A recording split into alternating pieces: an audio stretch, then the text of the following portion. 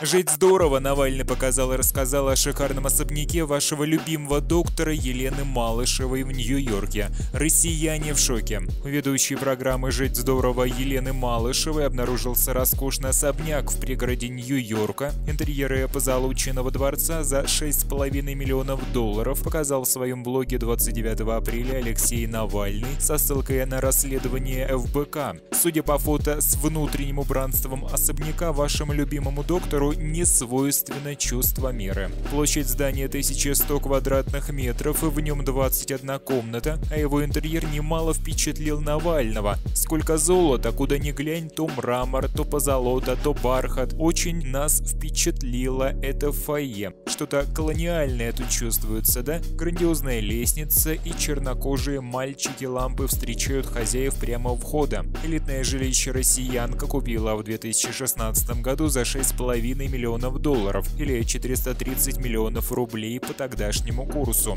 Навальный утверждает, что этот дом находится в пригороде Нью-Йорка, а точнее на границе штатов, в Нью-Джерси. В том году эта сделка стала самой дорогой в Нью-Джерси. В качестве доказательства политик привел договор купли-продажи. В качестве покупателей в нем указаны Елена Малышева и Игорь Малышев, так зовут ее мужа. Навальный отмечает, что ежедневно выходит передача Малышевой «Жить здорово», Егорова еженедельно шоу «Здоровье». Она теперь и главный медицинский авторитет на тему коронавируса. Малышева обычная пропагандистка, как Киселев или Соловьев, просто другого формата от медицины. Только на первый взгляд она кажется ведущей развлекательной передачи с гигантскими танцующими человеческими органами, заявил Навальный. По мнению Навального, она ведет последовательную осознанную кампанию по преуменьшению опасности коронавируса. В середине апреля Малышева назвала коронавирус чудом чудесным и объяснила, почему так считается ссылкой на статистику ведь он не опасен для маленьких детей. Так что, по мнению Малышевой, новая болезнь не такая уж угроза для популяционной безопасности. Позже стало известно, что из суммы в 6,5 миллионов 2 миллиона долларов, это 158 миллионов рублей, Малышева взяла в кредит со сроком погашения 30 лет. Таким образом, телеведущая должна будет внести последний платеж по кредиту, когда исполнится 85, если не рассчитается досрочно. Также по данным СМИ, Первый канал имеет задолженность перед Малышевой в размере 150 миллионов рублей, поскольку ведущая год не получает доходов за продакшн.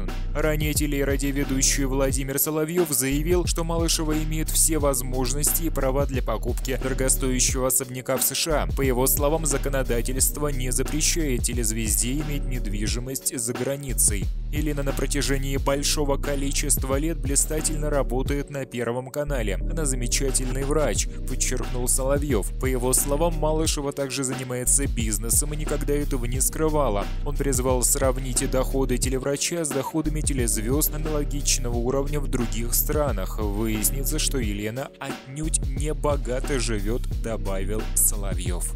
Петр Порошенко обвинил новую украинскую власть в бездействии относительно защиты судоходства в Азовском море. Порошенко и Рябошапка раскритиковали открытие дела моряков, возбуждено в угоду Москве. За последний год ни одно украинское военное судно не пересекло Керченский пролив, потому что нынешняя власть палец о палец не ударила, чтобы защитить свободу судоходства в Азовском море.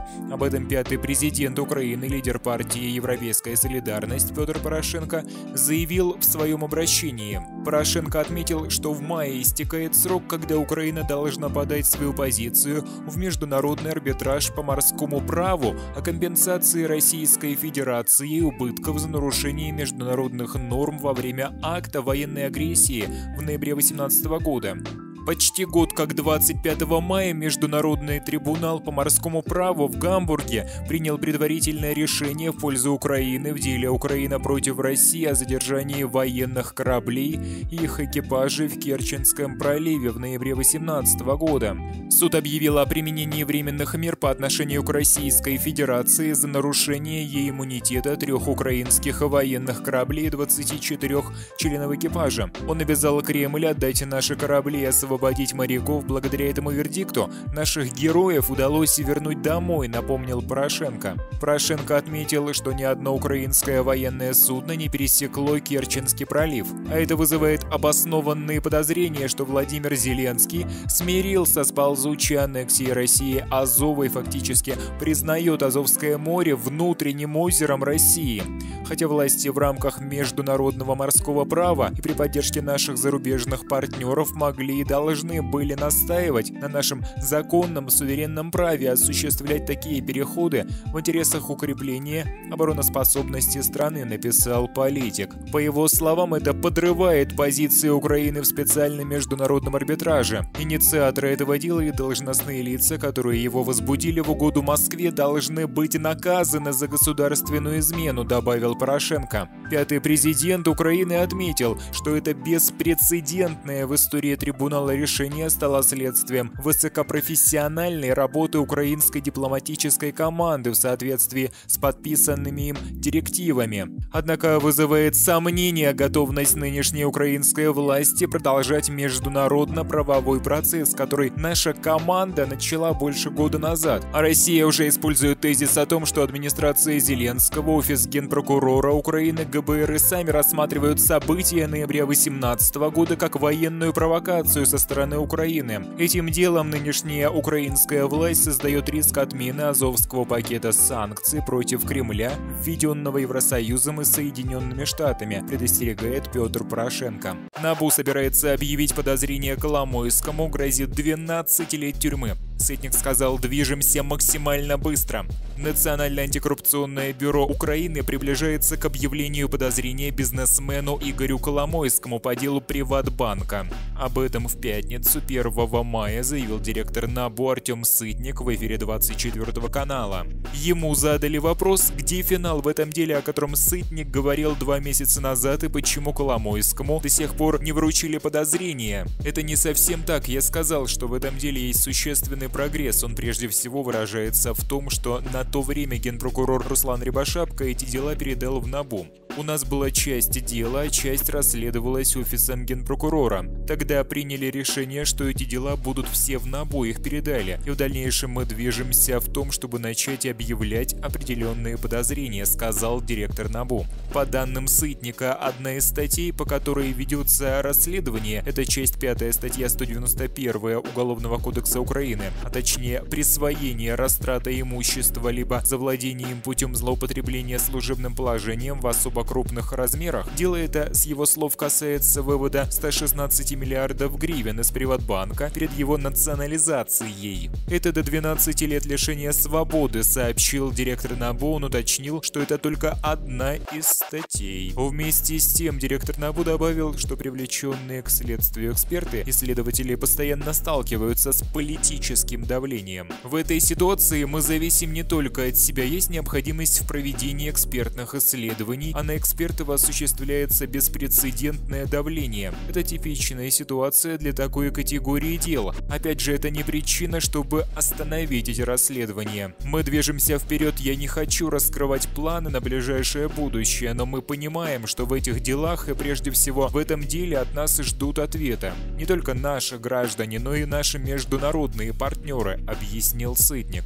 Глава бюро пожаловался, что из-за этого дела против него была начата некая медийная кампания, целью которой было добиться отставки его с должности. По его мнению, Коломойский является одним из главных заказчиков кампании, начатой против него. Чем больше убытков, чем более масштабное дело, тем больше сопротивления. Мы движемся к тому, чтобы установить круг лиц, которые, по нашему мнению, причастны к преступлению и передать эти материалы для вручения подозрений, рассказал глава НАБУ. Сытник также добавил, что сумма убытков по данному делу составляет половину общей суммы всех дел, которые ведет агентство. Это ориентировочная сумма для того, чтобы сумма стала не ориентировочной, а точной, проводятся экспертные расследования, рассказал Сытник. По словам председателя Совета Национального банка Украины Богдана Данилишина, в судах рассматривается около 600 дел в отношении Приватбанка. Глава НАБУ не назвал точную дату окончания расследования, так как, по его мнению, дни в парламенте может случиться самая невероятная, незаконная антикоррупционная инициатива, из-за которой он может быть снят с должности.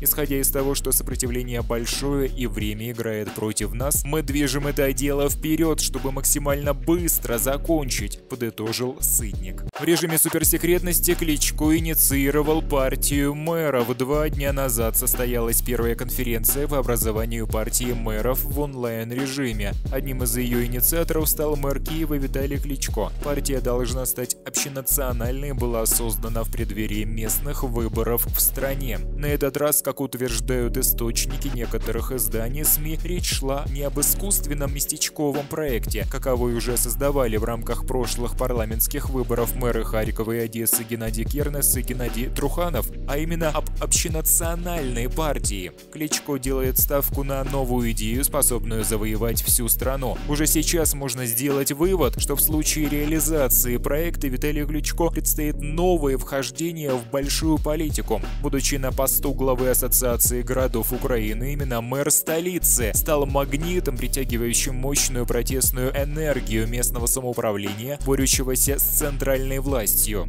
По словам одного из источников, местные выборы – это стартовая площадка для новой партии. Есть серьезные ломы лидеры общественного мнения, которые смотрят на происходящее со страной и понимают, что надо что-то менять. Уже невозможно смотреть на происходящее в стране безумия. Нужно создавать нормальную общенациональную политическую силу, которая будет в первую очередь отстаивать интересы местного самоуправления, представляя себя во всей стране. Страну строят снизу вверх, а не сверху вниз, заявляет источник. Однако для всех очевидно, что сейчас объединение идет вокруг мэра Киева в отношении Виталия Кличко. У большинства мэров нет отторжения. Да, он и не суперпрофессионал, но он умеет маневрировать и слышать всех. Надо, чтобы была команда управленцев, чтобы она не была презентована какими-то друзьями, кумовьями или 95-м кварталом. То есть оставшиеся в этой стране управленцы из разных регионов могут объединиться, резюмирует собеседник.